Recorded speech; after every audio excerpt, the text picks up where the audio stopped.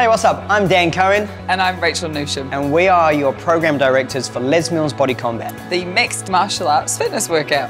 We've got karate, kung fu, taekwondo, boxing, capoeira, Brazilian jiu jitsu, they're just to name a few. Did you know it's actually a non contact class? So you can as much as you want, but we never actually hit anybody. You don't need any experience at all. We've got fantastic instructors, and they're going to support and guide you, and they're going to lead you all the way through the workout. You certainly leave the class feeling fierce, like a complete badass. We're really motivated because we're driven by some of the world's best. Music.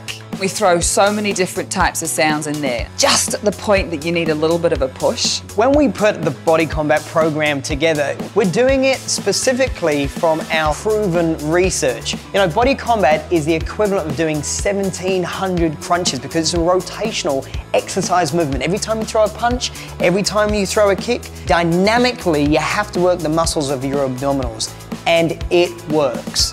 When new people do body combat for the first time, I guess they might feel a little intimidated, but we start with a warm up. We teach you all the names of all, all the upper body strikes and the lower body strikes so you get to feel really confident throughout the rest of your workout. Your jab is your lead hand, boom, and your cross is your rear arm, boom. We move through all the different martial arts. So maybe you'll find something in there that you might actually gel with real quick. Like the girls tend to love the boxing, and then the boys love the kicks. They just love kicking things.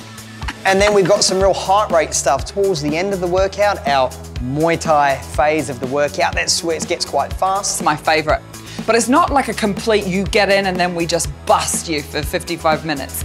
It's an interval training program. As soon as you feel like, oh my gosh, I can't hold on, boom, give it 30 seconds, you get a breather, and we move on to another body part and another martial arts style. All right, some top tips from us. Tip number one clothing. Don't wear short shorts. We do some moves where you get to, you know, move around a little bit, and the short shorts may restrict you. You're going to be burning a lot of calories, there's going to be sweat flying around, you're probably going to be a little dehydrated, so it's always good to bring a towel and some water. We totally expect you to just maybe do two or three tracks and go, oh yeah, I've had a go at that. I could give that a whirl next week and just bring it back each time, adding another track. You see everybody doing all these punches and kicks and they look awesome and there's a little bit of coordination around it. So it does take maybe two or three workouts to really get a feel for all of the moves. Look, if you like what you hear and you like what you see, why not give Body Combat a try?